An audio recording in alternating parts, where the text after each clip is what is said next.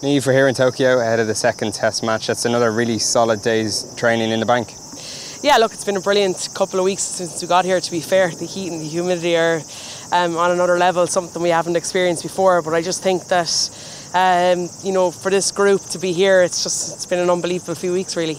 And the three themes of the tour have been hard work, opportunity, and development. And as, co- and as a coaching group, you've really pushed the players both on and off the field. Yeah, look, I think it was a huge opportunity for us to be able to train, you know, a few times a week together, uh, being able to back up sessions. I think, you know, putting them under pressure and stress of training, hoping that the game will be a little bit easier. And I think, you know, the, the game last week showed that. I think we played really, really well in patches. Obviously, there's been a lot of work ons that we've been working on this week, but I think in terms of the education about how we look after ourselves and what we do on and off the pitch um, has repercussions on how we train and the quality that we can train in. Um, so I think from that end, it's just been a, a, really good learning for the last couple of weeks from both the player and the coach perspective. You mentioned the heat and humidity and the challenge, I guess, of backing it up. The group have been together now three weeks, so it's, it's been intense, and, and players, as you say, are learning all the time about how to adapt to that kind of training lifestyle.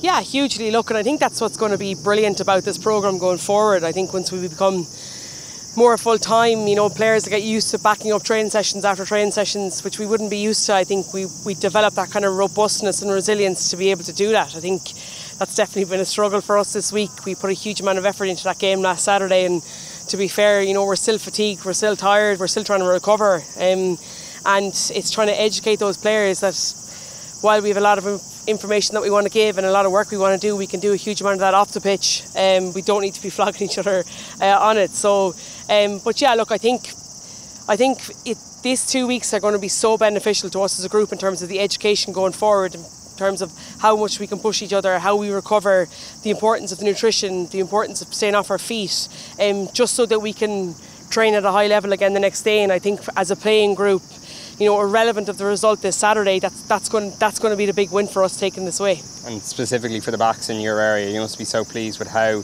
particularly those uncapped players have come in, they've gelled and they've really connected and built cohesion within the group.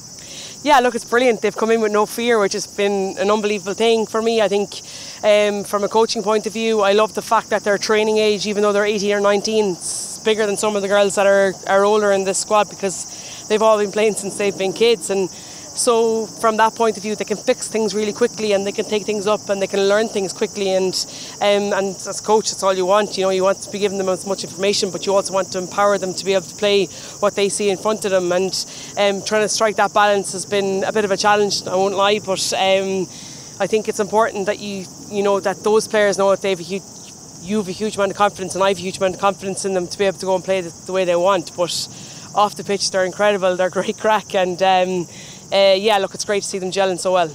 Personally, you've had so many highs and lows in an Ireland jersey during your playing career, and now you're obviously in the coaching side of things. What has this tour been like, and, and how is it compared to previous years? It's such an exciting time for this programme. Yeah, hugely. I just think this programme can be so big and can do so much. I think the, the joy about it is that and, and, probably the most exciting thing about it is that you can start it from scratch and you're literally building it the way that you want to build it and I think that's like that's really really exciting and I think from a coaching perspective and the experience over the last couple of weeks is, has probably been better than anything I've experienced as a player because you know it's it's you're on the other side of it. You don't have to have the nerves and the anxiousness about playing. You don't have to you know, but you you've different nerves and different anxiousness, but they're they're they're not you know they're not on the pitch. It's about the work that we're doing off it. So, um, but yeah, look, I've just really enjoyed the last few weeks and feel like I've got better as a coach and um, hopefully continue to do that. Brilliant, Thank you. Thanks, Amin.